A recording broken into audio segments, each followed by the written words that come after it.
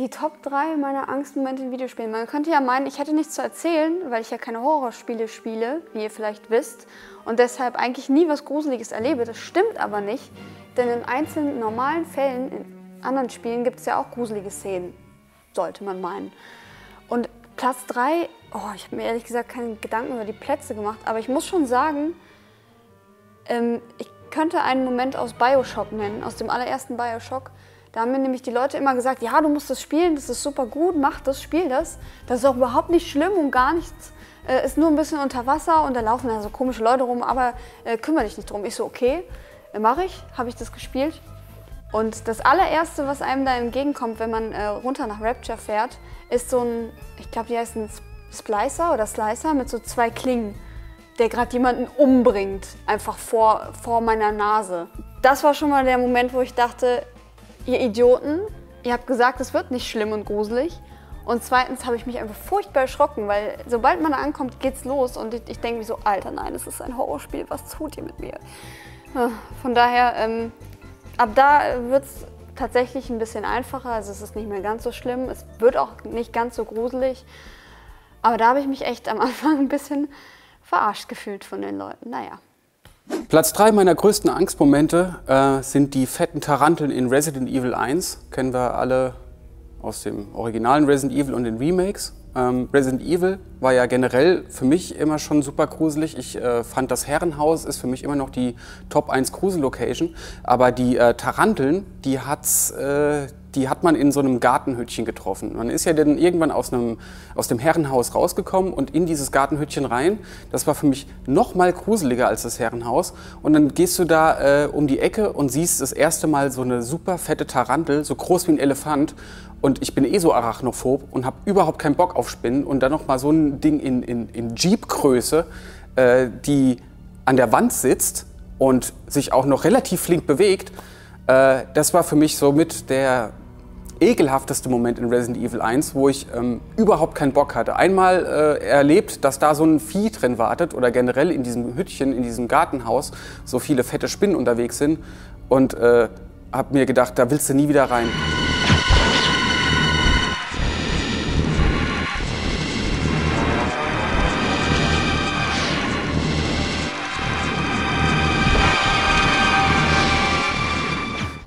Hasse Spinnen wie die Pest und da waren einfach mal 5000 Prozent Spinnen, alles voll. Ist auch so, wenn ich im Auto sitze oder so und äh, da hat sich mal eine Spinne von der Sonnenblende runtergelassen. Ich hätte fast einen Unfall gebaut. Ich glaube, manche kennen das vielleicht. Spinnen sind einfach die Pest am Arsch und deswegen die Spinnen in Resident Evil 1 mein Platz 3.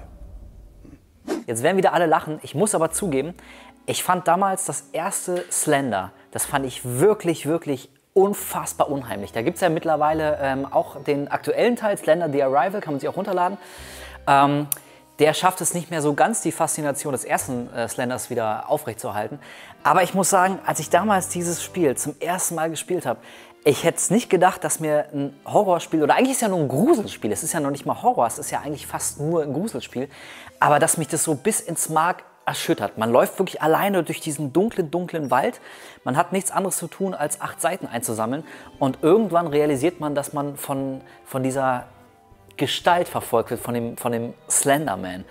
Ähm, der tut einem eigentlich nichts. Er springt einem nicht unbedingt die ganze Zeit ins Gesicht. Man kann in dem Sinne nicht, nicht verletzt werden. Aber äh, mit jeder Seite, die man einsammelt, merkt man, dass der Slenderman einem immer näher kommt. Man muss sich wirklich vorstellen, dieser Wald ist dunkel, man hat nur eine kleine Taschenlampe, man sieht keine drei Meter weit vor sich. Nach der zweiten, dritten Seite, die man eingesammelt hat, wird der Soundtrack auch zu so einem bedrohlichen Boom, Boom, die ganze Zeit.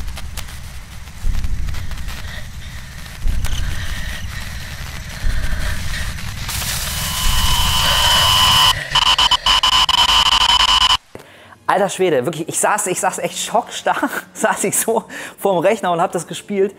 Ähm, und ich, ich hätte es wirklich nicht geglaubt, dass es ein Spiel schafft, ähm, mich, mich wirklich so, so zu, zu ähm, verunsichern, dass ich mich nicht mehr getraut habe, mit meiner Figur irgendwann um die Ecke zu gehen, aus panischer Angst, dass dieser verdammte Slenderman da steht und mir äh, dann quasi so ins Gesicht springt und dann ist das Spiel endgültig aus. Mein Platz 2 würde ich vergeben an eine Szene aus Heavy Rain, was ja jetzt per se auch nicht kein gruseliges Spiel ist. Aber ich finde, die, die Entscheidungen, die man da treffen muss, wenn man Ethan Mars spielt, das ist ja der Typ, dessen Sohn verschwindet, und er kriegt ja dann ähm, vom Origami-Killer so Anweisungen, was er tun muss, ähm, damit sein Sohn freikommt. Und eine Anweisung davon ist, er muss sich den kleinen Finger abhacken mit so einem Beil. Er kommt in so eine Wohnung, die völlig versifft und verdreckt ist. Äh, da steht ein Tisch und vor ihm so ein Tablet mit einem, mit einem Timer und ich glaube, der ist auf fünf Minuten gestellt. Und in diesen fünf Minuten soll er vor laufender Kamera als Beweis zu der Liebe seines Sohnes, äh, muss, er, muss er sich den Finger abhacken. Und ähm, ich hatte wirklich Angst in dem Moment, weil ich mir selber die Fragen gestellt habe, okay, was würdest du tun? Was würdest du tun und würdest du dir jetzt live wirklich das Messer nehmen? Und die, die, die Auswahloption hat auch so gezittert weil das natürlich eine schwere Aufgabe und eine schwere Entscheidung ist. Und ich saß da echt aus, ich würde, Alter, ich würde sterben, wenn ich das machen müsste. Von daher, ich hatte wirklich Angst. Ich hatte Angst und meine, mein, mein Trigger zu bewegen und dieses Messer in die Hand zu nehmen. Und es war auch wirklich, ich habe es ja dann gemacht, logischerweise. Ich will ja auch weiterkommen. Es war unfassbar ekelhaft. Das war ganz, ganz schlimm. Platz 2 der Szenen, wo ich am meisten Angst hatte, ähm, ist aus Dead Space 1. Da gab es einen Gegner, der konnte sich immer regenerieren.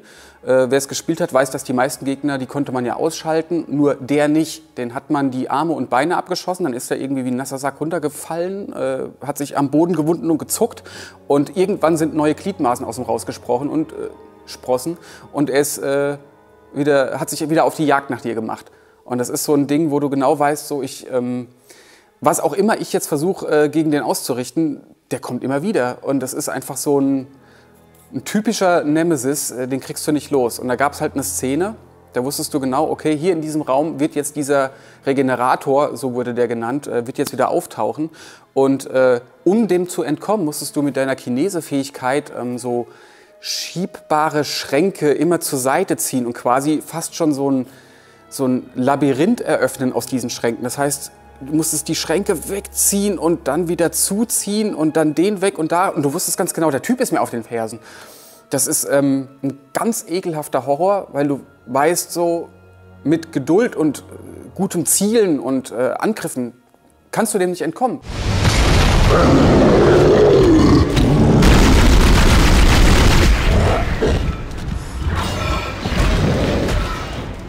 Widerliche Szene ähm, habe ich habe ich mich immer vorgescheut, die zu spielen, als, als, als ich es auch mehrmals durchgespielt hatte. Und ähm, deswegen ist das mein Platz zwei der gruseligsten Momente. Ich, ich hasse den Typen, ey. Generell Gegner, die immer wieder kommen. Ja. Ich habe mal äh, so ein bisschen in meinem Gedächtnis gekramt und bin in mich gegangen. Und ich muss sagen, ähm, Platz zwei meiner schlimmsten Angstmomente war in Dark Souls. Und zwar, Achtung, der Kampf gegen die Four Kings. Das war für mich ein ganz, ganz unangenehmer Moment. Also ihr habt ja alle Dark Souls gespielt, ihr wisst, man fühlt sich ohnehin sehr, sehr angespannt bei Dark Souls. Man ist nie wirklich äh, wie locker und entspannt, gerade wenn es um, um äh, einen Bosskampf geht. Man hat ja irgendwie immer Angst um sein Leben.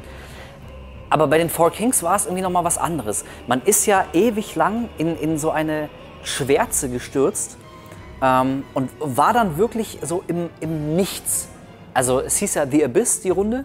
Und es war wirklich einfach nur schwarz. Man ist, man ist vor einer völlig schwarzen Fläche rumgelaufen. Man hatte keine Orientierung, wo es oben, wo es unten. Man hat den Boden nicht gesehen. Es war einfach alles nachtschwarz um einen rum.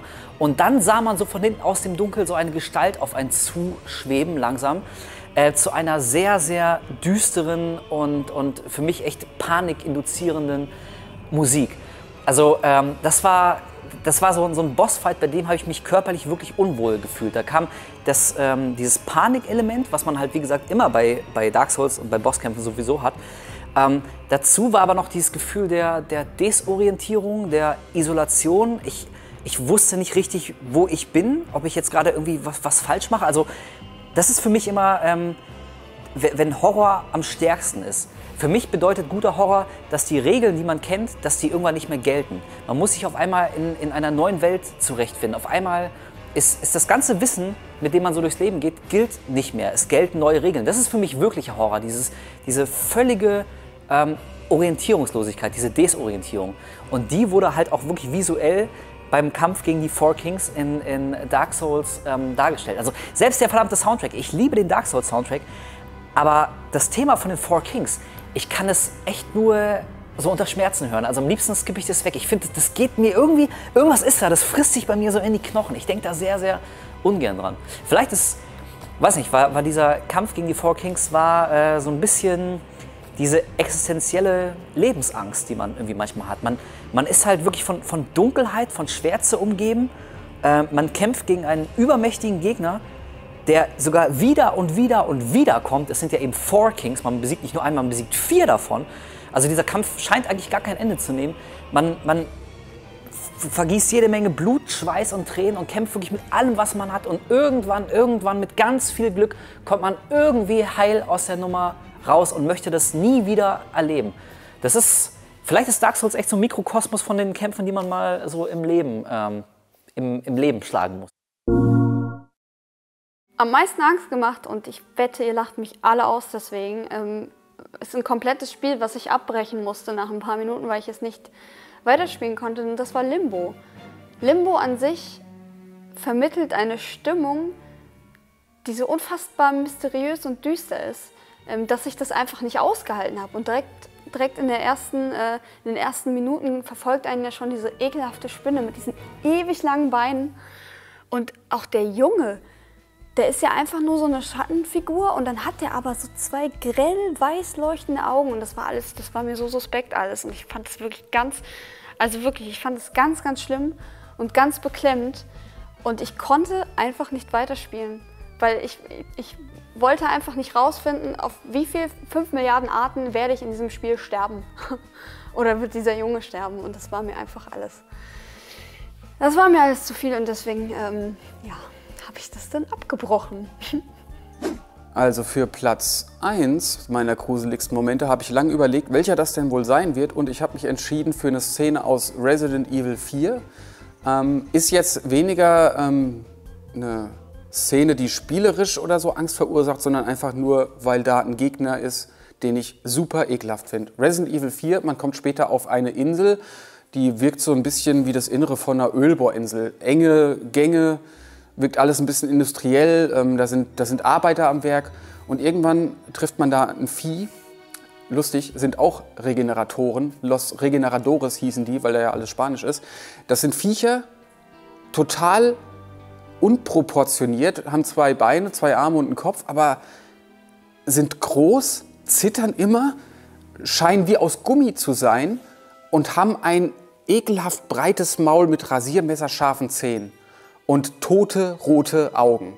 Und die stehen in diesen Gängen einfach nur und warten auf Beute. Die stehen da, warten und machen so ganz ekelhafte Atemgeräusche. So. Entschuldigung, aber so ist es. Ganz ekelhaft.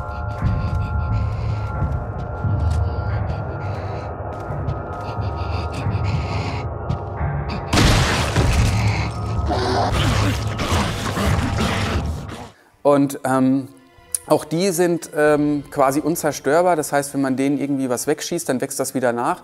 Und es gibt Parasiten äh, in, in, ihren Körpern, die man mit einem Infrarot-Zielsuchgewehr äh, ausfindig machen kann. Die trifft man dann genau und dann sind die Viecher auch tot. Aber das sind auch so, so fast unüberwindbare Gegner, ähm, wo du genau weißt, okay, wenn ich da jetzt äh, was verrafft, dann kommt der auf mich zu und rammt seine messerscharfen Zähne in meinen Hals. Ich, ich finde die einfach ähm, von, von der Gestaltung her super widerlich. Ähm, ey, und später gab es dann noch äh, schlimmere Versionen mit Stacheln. Uh, also die Regeneradores aus Resident Evil 4 sind äh, mein absolut ekelhaftester Moment. Echt. So, und jetzt wenig überraschend, ey, ihr habt es euch wahrscheinlich schon denken können, es muss jetzt was mit Silent Hill kommen. Ihr wisst, ich bin mega Silent Hill-Nerd. Ähm, auch hier habe ich überlegt, nehme ich was aus Silent Hill 2 oder aus Teil 1? Ich muss sagen, für mich steht Teil 2 mehr so für Melancholie und, und ähm, Schrecken in Trauer, aber nicht unbedingt wirklich für haarsträubenden Horror äh, oder Grusel. Deswegen nenne ich jetzt natürlich gerne und mit Freude Silent Hill 1. Ich habe mal beim ähnlichen Video, ähm, habe ich gesagt, dass für mich der schlimmste Moment in Silent Hill 1 die Schule war, als sich die Schule verändert hat, in ihr äh, böses Aussehen gewechselt hat.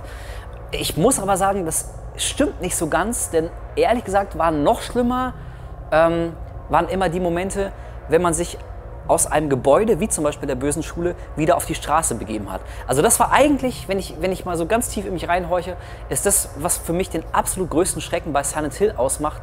Im dunklen, veränderten, verwandelten Silent Hill ähm, da sich frei durch die Straßen zu bewegen. Also jedes Mal, wenn man zum Beispiel sich durch die Schule kämpft oder durch das Krankenhaus oder die ganzen Ortschaften, äh, während man drin ist, denkt man sich, oh Gott, ich möchte hier nur raus, ich möchte hier nur raus. Aber wenn du draußen bist, dann denkst du, oh Gott, kann ich bitte wieder rein, kann ich bitte wieder rein? Hier habe ich wenigstens eine Decke über dem Kopf und vier Wände und ich kann mich irgendwie zurückziehen.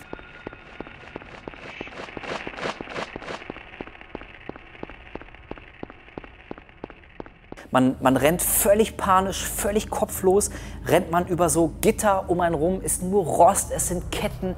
Der Soundtrack ist ein atonales Gestampfe wie die äh, einstürzenden Neubauten zu ihren schönsten Zeiten. Man, man kann auch hier keine drei Meter gucken, von, von links und rechts, von äh, allen Seiten wird man von Monstern angegriffen, die man kaum sehen kann. Man rennt irgendwie, wirklich, man ist wie so ein, wie so ein äh, gehetztes Tier. Man, man möchte echt nur die Augen schließen und nur rennen, rennen, rennen, irgendwo ankommen. Aber ich möchte, ich möchte raus aus dieser Dunkelheit, ich möchte weg von der Straße, ich möchte wieder in die Sicherheit, in die vermeintliche Sicherheit eines festen Gebäudes mit einer Decke und vier Wänden. Ähm, und also wirklich, das, das waren für mich die allerschlimmsten Momente. Dieses Rennen durch die Dunkelheit, du wusstest nicht, wo du hin musst, ob du das irgendwie überlebst. Du wolltest nur, nur von dieser verdammten Straße weg und irgendwie wieder so in einen Rückzugspunkt. Ähm, ja, und deswegen kann ich wirklich sagen, Silent Hill für mich immer noch der absolute Champion, was Angstmomente ins Spiel angeht. Hat danach keiner mehr erreicht und deswegen ist Silent Hill für mich immer hier drin, in meinem Herzen.